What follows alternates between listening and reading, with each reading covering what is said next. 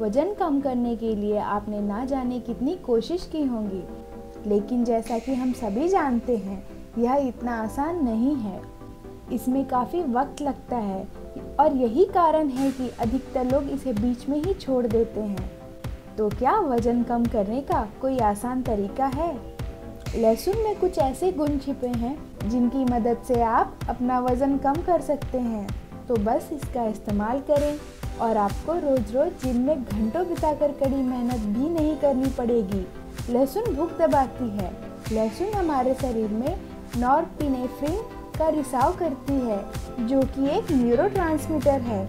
इससे शरीर की चयापचय अर्थात मेटाबॉलिज्म प्रक्रिया सुधरती है और वज़न कम होता है। दोस्तों, वज़न कम करने के लिए लहसुन कैसे खाएँ, आइए जानते हैं। सामग्री, तीन लहसुन की कलियाँ, एक नींबू का रस और एक कप पानी। आइए अब जानते हैं बनाने की विधि। एक कप पानी में एक नींबू का रस डालें। लहसुन की तीन कलियाँ चबा चबा कर खा लें और उसके बाद नींबू पानी पी लें। इस प्रक्रिया को रोज़ाना खाली पेट करें। दो हफ्तों के आसपास आपको फ़र्क दिखने लगेगा। लहसुन को खाने से वज़न तो घटता ही है, लेकिन इस रेसिपी से आपको दोगुना फ़ायदा मिलेगा।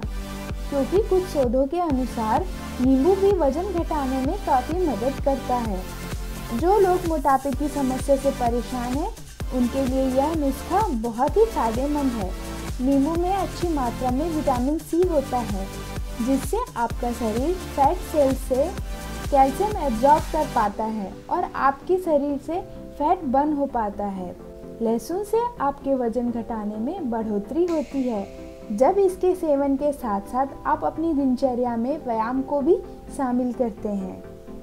तो ये थे दोस्तों वज़न कम करने में लहसुन है लाजवाब। दोस्तों, अगर आपको हमारा यह वीडियो पसंद आया हो तो इसे लाइक और शेयर करना ना भूलें।